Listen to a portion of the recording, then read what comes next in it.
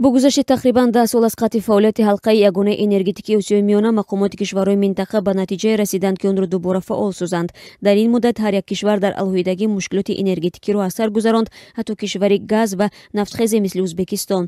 Ҳоло он кишварҳо ба қароре расиданд ки беҳтар аз ҳалқае ки онҳоро дар даврони шӯравӣ ба ҳам оварда буд ҳалқаи дигаре вуҷуд надорад ва онҳо тасмим доранд ки бо баргаштан ба ин ҳалқа додугирифти нирӯи барқро ба роҳ монанд ӯзбекистон соли 2009 аз ҳалқаи ягонаи энергетикӣ хориҷ шуд ва ҳамин гуна як ҳалқае дар занҷир канд. Шабакаи ягона шакле сохта шудааст ки рафтани як узв аз он кори дигаронро фалаҷ мекард. Кишварҳои дигари осиёи марказӣ баъди канда шудани ҳалқа ҳар як мустақилона аз пай ҳалли мушкилоти энергетикии худ шуданд. Аммо эҳтимол ҳеҷ кишвари минтақа ба андозаи тоҷикистон аз канда шудани ҳалқаи ягонаи энергетикии осиёи марказӣ зарба надид дар як зимистони қаҳратун ба сабаби нарасидани нерӯи барқ кӯдакон дар таваллудхона аз хунукӣ фавтиданд ва мактабҳоро ба сабаби бебарқӣ бастанд. Дар маҷмӯъ як насл дар тоҷикистон бо лимити барқ бузург шуд. Ҳоло ҳарфи бозгашти дубора ба ҳалқаи ягонаи энергетикӣ мардумро хушнуд кардааст.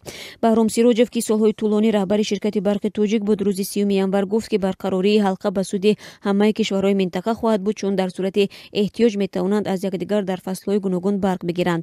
ба гуфтаи баҳром сироҷев пайвастани тоҷикистон ба ҳалқа барои ҷилавгирӣ аз садамаҳои энергетикӣ низ зарур аст. мутахассиси собиқадори тоҷик афзуд агар ҳалқа ягона барқарор мебуд торикии ҳангоми аз кор мондани нирӯгоҳи барқии оби норак соли 2016 идома кард тӯлонӣ намешуд. Ҷаноби сироҷов афзуд ки ҳалқаи ягонаи энергетикии осиёи миёна баъд аз фаъол шудани нирӯгоҳи қайроқум таъсис ёфт ва ҳадафи он таъмини баробари чор кишвари минтақа бо нирӯи барқ буд дар он солҳо сокинон аслан намедонистанд ки нирӯи барқро аз куҷо мегиранд ва гар садамае ҳам иттифоқ меафтод ҳеҷ кас хабар намешуд. Шурӯъ аз соли 2009 ҳар кишвар ба шабакаи дохилӣ ва танҳо ба нерӯи барқи тавлиди худӣ умед баст. Тоҷикистон ки дар фасли тобистон нерӯи барқи изофии худро ба ҳамсояҳо медод ва зимистон аз онҳо нерӯи барқ мегирифт аз ин имконият маҳрум гашт.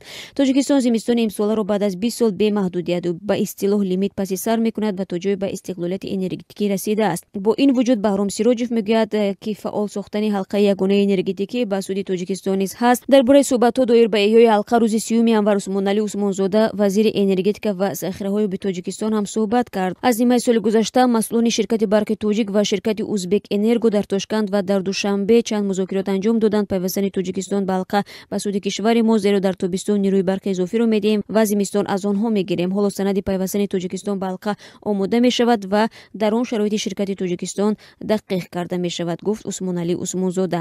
Вазири тоҷик изҳори умедворӣ кард ки санад ба зудӣ имзо хоҳад шуд ба гуфтаи ӯ тамоми зербунёдҳои лозим барои интиқоли барқ ба қаламрави дигар ва аз ҷумла хатои баландшиддати 220 волтӣ вуҷуд доранд ва пайвастани онҳо бо ҳам кори осон аст.